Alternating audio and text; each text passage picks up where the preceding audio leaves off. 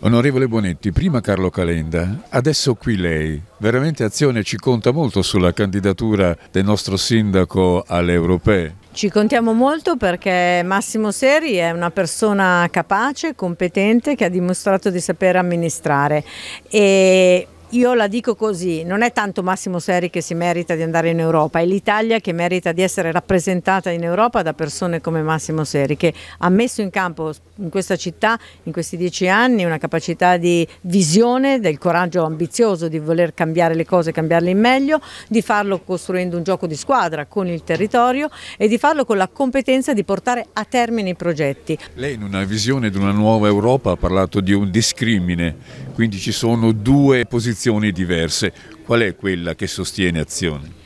Un'Europa grande, una grande comunità coesa, solidale, ma anche in grado di diventare una potenza, di guidare il percorso della storia tra le grandi potenze internazionali. È l'unico destino possibile per l'Europa, ma anche per noi stessi, per la nostra vita, per le nostre comunità, per i nostri comuni. Ci sono dei provvedimenti europei che preoccupano, per esempio i provvedimenti presi, oserei dire, contro la pesca. Fano è un porto peschereccio di notevole importanza e accusato accusato dei problemi per quanto riguarda i provvedimenti europei. E poi c'è anche la questione delle case green che preoccupa diverse famiglie.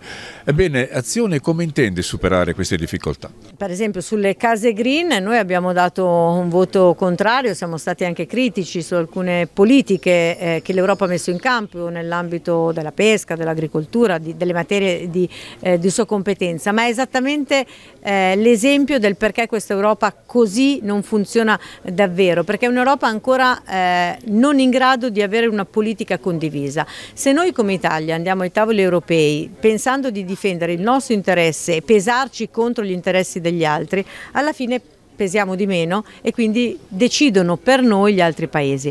Se invece noi riusciamo a costruire una strategia condivisa europea nella quale il porto di Fano, no, i pescherecci di questo territorio sono un pezzo dello sviluppo economico europeo, l'Europa tutta ha l'interesse di tutelare questi eh, pescatori, questi territori, in una visione strategica condivisa e in una visione strategica anche di realizzabilità.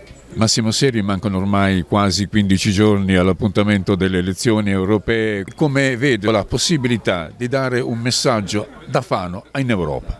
Beh, lo vivo con grande serenità perché l'obiettivo è quello di comunicare i valori di una politica seria, vera e di chi crede in questo caso di un'Europa che possa svolgere un ruolo importante e dico per un'Italia più forte occorre un'Europa più forte, per i cittadini perché possa portare dei vantaggi e dei risultati significativi. Quindi l'appello che mi sento di rivolgere è quello di andare a votare perché eh, troppa gente rinuncia a questo diritto e dare un'indicazione forte. Queste elezioni saranno uno spartiacque tra chi vuole un'Europa più integrata e chi vuole un'Europa più egoista. Io appartengo a quella che vuole un'Europa più integrata che possa svolgere un ruolo in questo scacchiere internazionale dove i singoli Stati membri rischierebbero di essere superati e non svolgere un eh, ruolo di fronte a tutto quello che eh, accade.